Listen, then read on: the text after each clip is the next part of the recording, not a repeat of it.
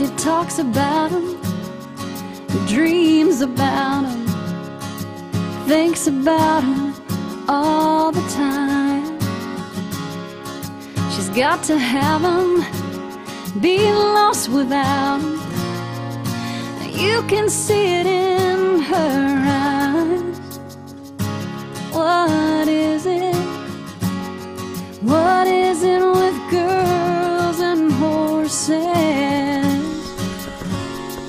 She says, Now when I was a young girl, they were my whole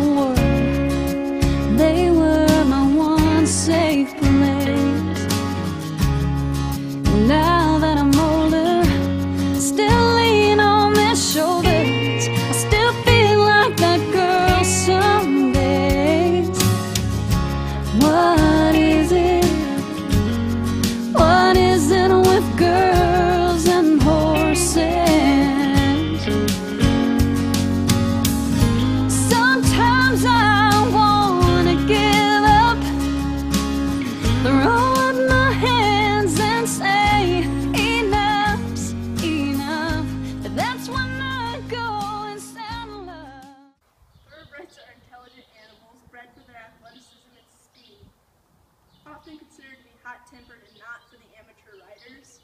Uh, they're also a very large breed of horse, having between 15.2 to 17 hands.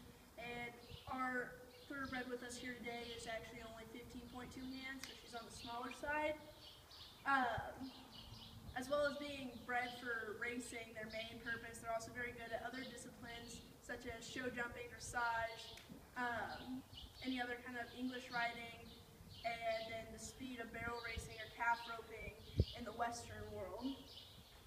Thoroughbreds generally, when their racing days are over, are called OTTBs or off-the-track thoroughbreds. Um, and a lot of these animals are in need of a new career and a new home because there's an overpopulation of these thoroughbreds. Um, taking on a horse from off the track can be a very rewarding experience, but also takes a lot of time and effort put into that horse. Um, so you can either buy a thoroughbred right off the track, which is not suggested for the amateur riders, or you can buy one that's already retrained, which is still not really suggested for amateur riders necessarily, just because of their hot tempers and their um, ability to be very quick if they would like to be. Um, racetracks are a very good place to find these athletic and attractive thoroughbreds, as well as other breeds of horses uh, that have been bred for racing. Racetracks are a good place to find these athletic and attractive thoroughbreds, um, and their breeding quality makes them very suitable for the English riding.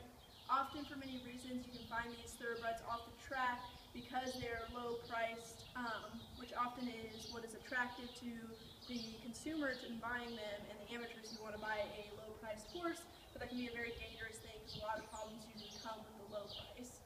Um, there's also reasons that they can be low priced and it's not a problem, just like maybe they're not fast enough for the track, um, they're not sound enough for the track, or they simply just do not have the disposition and the competitiveness to be on the racetrack. Um, the same reasons that these horses can be unsuitable for racing doesn't mean that they're going to be unsuitable for riding. Um, these horses do need to be rehabilitated rather because the extreme competition of horse racing, racing exists and there's a lot of whipping, cattle prodding, um, and other abuses that happen when they are on the racetrack. Um, also, a lot of these racehorses are addicted to running, such as a drug addict would be addicted to drugs. Um, the corruption brought on by these abuses also can trigger a lot of uh, a lot of strange reactions to different things that aren't necessarily something that you would find strange when talking about other horses. Uh, but when you buy a racehorse, you are inheriting a past of something that you don't know anything of, and they have a problem standing still a lot. Um, and even with the best of handling and riding, it can still take a long time to rehabilitate these horses. He or she might be overly sensitive to touch as well. It's okay. Because of the abuses that they've endured. It takes a lot for them to actually be able to trust you. And I've been actually working with her for a very long time, just petting her while she's in the stall. And you can see that she doesn't really like necessarily to be touched very much. Um, she also dis- displays these behaviors of being nervous when locked up in the stall. As you can see when the cars drive by in the background, she's very, very aware of them and very, um, very ready to run if she would have to. Um, and along with this, she's always um, looking for something to do. She's looking for a way to keep herself entertained. So another the reason why these horses aren't very good for amateurs is because they are not very trusting of people um, to begin with, and it takes a lot for them to trust you, and you have to really know how to work that with them, and you have to really know how to um, make them believe that they can trust you. See, she doesn't even really like to be touched by me. Um, still, after months and months and months of me working with her, trying to get her to trust me. Um, but also, another reason they're not good for amateurs is because of the fact that they are very energetic horses and they are very um, ADD in a way that there always has to be something to do. There always has to be something for them to keep their mind off of just standing there and having a thoroughbred that's going to be locked up in a stall like this one all day um, isn't necessarily the best way to keep these horses. Um, she does have pasture turnout time, but uh, if you're an amateur, you might not necessarily know that, and there's a lot of things that can go into them hurting themselves if they're cooped up in a stall all day because they're trying to find something to do or because they need something to focus on rather than just stand.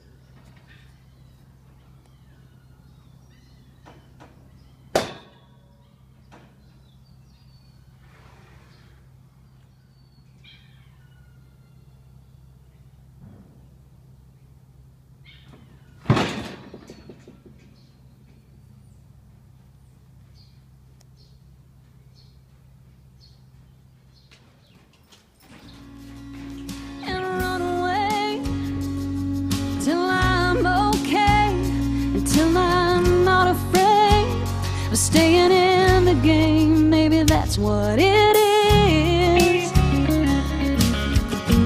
with girls and horses.